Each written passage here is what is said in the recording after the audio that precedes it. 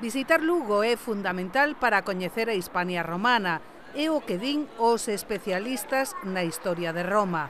Moitos deles asistirán ao coloquio internacional a cidade romana no noroeste que organiza a Facultade de Humanidades do Campus de Lugo co apoio da Deputación Provincial. Que vai axudar a que todos entendamos mellor a historia da nosa da nosa cidade romana. É importante para nós, para a sociedade lucense, pero tamén é importante para todos aqueles que se achegan, porque será unha nova oportunidade de abrir a cidade, de abrir o campus o exterior. Os participantes terán a oportunidade de coñecer in situ non só a través dos libros, os xacementos que lembran o pasado romano de Lugo. Sino que tamén conozcan os yacimientos in situ e, como digo, isto tiene unha trascendencia porque eh, son sempre ponentes moi destacados ou eh, investigadores moi destacados en el ámbito de la romanización del urbanismo, del mundo urbano en general y, por lo tanto, insisto, eso lo trasladan a sus universidades de origen. Este encontro científico terá lugar os días 24 e 25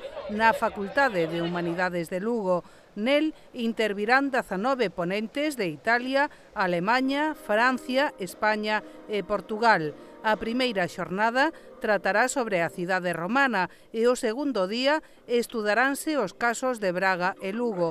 As inscricións poden facerse na web de Humanidades ata o día 17.